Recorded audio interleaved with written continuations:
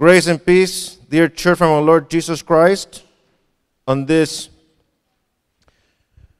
Sunday in Easter today is Good Shepherd Sunday, or the so called Good Shepherd Sunday, because all lessons have the image of sheep and shepherds. And the gospel in the three year lectionary divides the so called Good Shepherd speech from Jesus in chapter 10 in three parts. Today we hear the I am the gate. Next year we're going to hear I am the good shepherd. And the third year we'll finish up that uh, passage, of course. So, is there any better place to be on a Good Shepherd Sunday than at a Good Shepherd church? I don't think so. So, you're here for a treat. Good Shepherd Sunday not only have these beautiful images from sheep and shepherds, but gives us the most famous psalm in the book of Psalms, and arguably the most famous passage from Scripture Psalm 23. Who doesn't love Psalm 23? So famous, so well known. Everybody loves Psalm 23. A lot of us know it by heart. You know, the Lord is my shepherd, I shall not be in want. He has beautiful verses that are also famous, like, Though I walk through the valley of the shadow of death, I shall fear no evil. For you are with me, your rod and your staff, they comfort me. And then towards the end, you have the other beautiful uh, verse My cup is running over. Surely goodness and mercy shall follow me all the days of my life, and I will dwell in the house of the Lord forever. A famous passage, a famous piece of scripture that have helped the faithful from generations through different and difficult parts of time. Maybe you have held on to this psalm in your own life, going through your own experiences. What I can tell you is that it helped King David. King David in Old Testament, when he was living in hiding, he found comfort in these words The Lord is my shepherd, I shall not be in want. What I can tell you is that Ruth and Noemi, coming back from a foreign land with empty hands, nothing to their name, they found comfort in these words The Lord is my shepherd, I shall not be in want. There are so many people who find strength in these verses. And you know them too. We all know, you know, the Lord is my shepherd. I shall not be in want. So, why do we want so much? Why do we stress so much? Why are we so anxious? Why can we not fall asleep at night? If we know that the Lord is my shepherd and I shall not be in want, why is it that it's so hard to believe it? So this brought me to communication um, theory, thinking it cannot be the Word of God because the Word of God comes from above and it's powerful and great. So the problem got to be in the communication that we're sharing, how we're sharing these words. The Lord is my shepherd, I shall not be in want. And maybe those words are not sticky enough. Stickiness is one of those things that uh, communication theorists and people in marketing try to create something that is sticky and that people will remember. Like, very few people outside of New Jersey know that New Jersey is the garden state. But if you're a lover, you know what state is for you, don't you? Virginia. Sticks. So different companies spend a lot of money trying to make their campaigns and their message stick. Like, for example, the Olympic Games.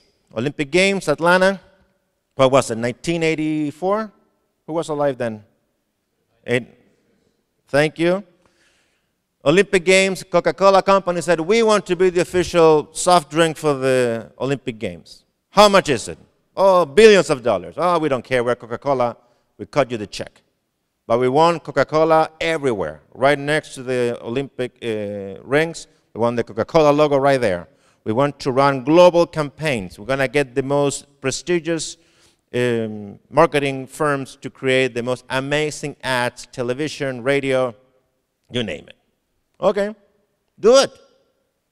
They cut the check, they did it. Olympic Games were a success. And then someone decided to study this and do a little exercise and actually test how many people knew that Coca Cola was the official drink of the Olympic Games. Fun fact not everybody knew. A lot of the people who were part of this uh, test did not know that Coca Cola was the official soft drink. And even worse, some people thought it was Pepsi. Can you imagine being in charge of that campaign, putting all that money, all that time, all those resources for someone to have the nerve to tell you, I thought it was Pepsi? Are you kidding me? I've been working at this for years. It didn't stick. Of course, you and I, church people, and those of you watching from home, we know this. We know this. Classic church issue.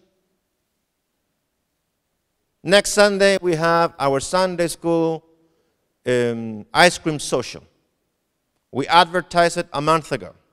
We put it in the Life at Good Shepherd email every week. I'm talking about it today for next Sunday.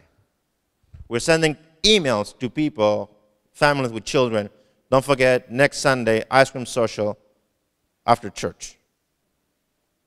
You know, and I know, that next Sunday, someone's going to come here and say, Pastor, when is the ice cream social? It's today. We send you 10 emails. We call you. We send, you know, pigeons to your house. But the message didn't stick. It didn't have that stickiness that it's so much needed to remember. So I'm trying today to make this message stick. The Lord is my shepherd. I shall not be in want. Why don't you help me make it stick and get to the person right next to you at church and say to the person, say, the Lord is my shepherd, I shall not be in want. Please say it. I shall not be in want. Let's get this to stick so we can find that peace in our hearts. So, stickiness is one issue. The other issue, if, if we cannot remember, we cannot live by these words, the Lord is my shepherd, I shall not be in want, is that sometimes there's just too much clutter and we cannot remember, we get mixed up. An adult in America gets over 3,000 messages a day. Imagine in your own life, when you wake up, look at your phone, turn the TV on, turn the radio on in the car, all the messages that you're absorbing for whatever thing social media, phone calls, messages, text messages. So, in the midst of those over 3,000 messages, the good shepherd voice have to cut through so you can listen. The Lord is my shepherd, I shall not be in want. And it's hard because there's so many messages that then we forget and get mixed up. I see it every time I teach confirmation class, or most the times I teach confirmation class, as you know, I like to teach them what we know, that are the Ten Commandments. And as you know, I bring the Ten Commandments often to my preaching because I think it's something that we should know. Because if we're Christians and we believe in the Ten Commandments, at the very least, we should know them. So I do that with the confirmation class. But before I go deep with the Ten Commandments, I want to have like a base level and say, well, do you guys actually know them? Because maybe if you grow up here at Good Shepherd, I also teach them. Uh, I know that it, they're taught in, in First Communion class and Sunday school. So I want to know where the kids are. So I say, you know, do you know the first commandment? Do you know the second commandment? Do you know the third commandment? The fourth commandment? And so on. And the kids say one or the other. And most often than not, most often than not, when I ask for the second commandment, one of the kids will raise their hand and say, Pastor, I know the second commandment. Okay, go. The right to bear arms.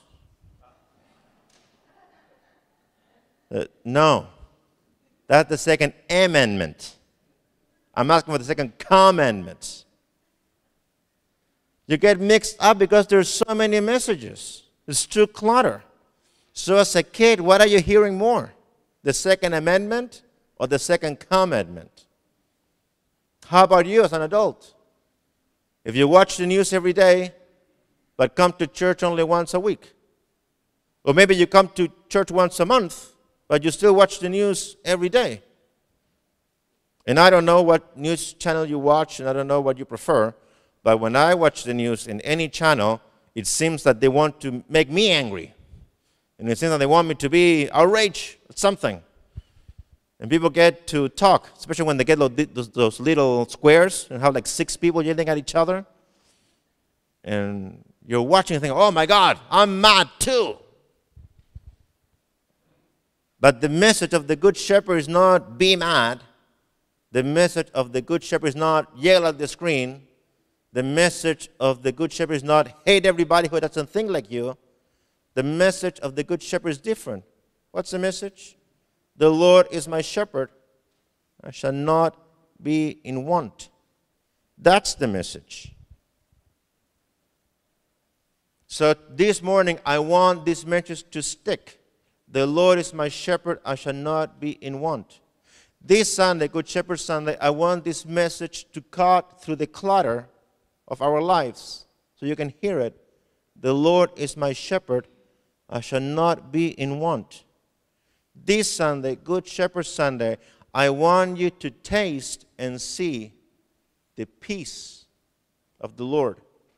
The Lord is my shepherd, I shall not be in want this Sunday, Good Shepherd Sunday, I want you to breathe in and out the peace that only the Good Shepherd can provide and comfort one another with the words of our faith. The Lord is my shepherd, I shall not be in want. As I mentioned before, these words have provided comfort and hope and faith to a number of people. How many of us know these words by heart? How many of us have heard these words since childhood and today we get to live them out? Today we get to remember them. Say, yes, the Lord is my shepherd. I shall not want. I shall not be in want. Tony Campolo, Pastor Tony Campolo, tells this story. He was in New York City watching the Men of La Mancha musical. Have you seen that one? The Men of La Mancha? Do we have a witness? No? Thank you. I haven't seen it, but it's about Don Quixote, the Spanish um, person. And during the, the show, he sees this couple that, according to Pastor Campolo, was a nice couple, you know, from the suburbs going to see the show and he can hear the wife of the couple saying, Shh, be quiet, be quiet. You're embarrassing me. Stop it, stop it.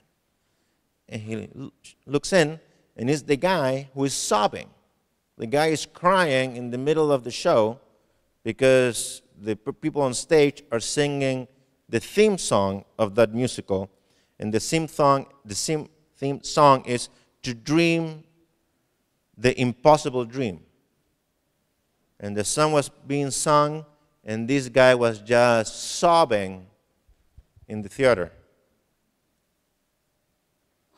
Why was he crying? Why was he crying other than by the words themselves? Because the person on stage was singing about beating the unbeatable foe and striving with courage to go where the brave dare not go. He was singing that the world will be better because of one man bruised and covered with scars, still strove with all the courage he had to reach the unreachable star. Pastor Campolo thinks that this guy was crying because he has lost his dream. He has lost his faith. If you feel like that man today, If you feel that there is just so much clutter in your life and so much stress and anxiety in your life that you have lost it and you cannot remember it, I want you to hear it today from me. I want you to hear it today from us. For those of you watching at home, I wanted to hear it, you to hear it from all of us who remember the words of the Good Shepherd. How many of you know Psalm 23 by heart? Why don't we say it together by heart? And if you don't know it, listen to it and hear the Christian witness of Psalm 23. If you know parts of it, jump in when you can remember the words so we can all share this faith with one another and remember the Lord is my shepherd, I shall not be in want.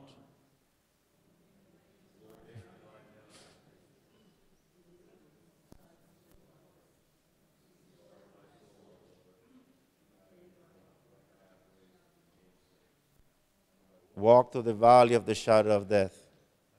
Fear no evil.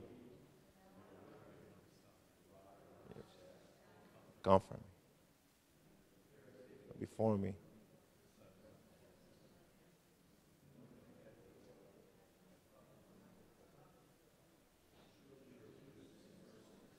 All days of my life. And I will dwell in the house of the Lord forever. Good Shepherd Sunday. Today we remember. Today we believe. Today we support one another with these eternal words The Lord is my shepherd, I shall not be in want. Amen.